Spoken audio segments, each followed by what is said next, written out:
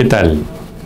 Se supone que ahorita el presidente Kuczynski y la premier Mercedes Arauz están cocinando el prometido gabinete de la reconciliación. La espera desespera por saber eh, los nombres que conformarán el nuevo Consejo de Ministros y si los elegidos están en condiciones de avalar dicho rótulo. Reconciliación, según la RAE, es volver a las amistades o atraer y acordar los ánimos desunidos, ergo no engañar más al pueblo para tratar de recobrar su confianza y renovar la unión a partir de las buenas acciones.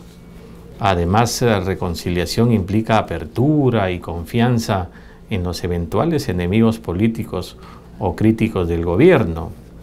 ¿Ustedes creen que Fuerza Popular integraría este gabinete?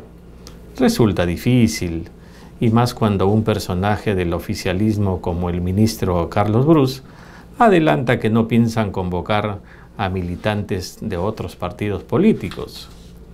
Aquí Mercedes Arauz tiene un papel medular. Basta de paternalismos y caprichos del mandatario. De ella depende conformar un gabinete que de repente no es el de la reconciliación, pero sí el de la salvación de un Kuczynski que ya fue rescatado por Kenji de las garras de la vacancia en el Congreso.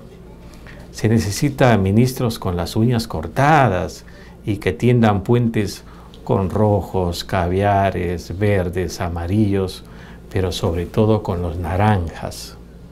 Esto fue todo por hoy. Guardo mi lápiz. Hasta mañana.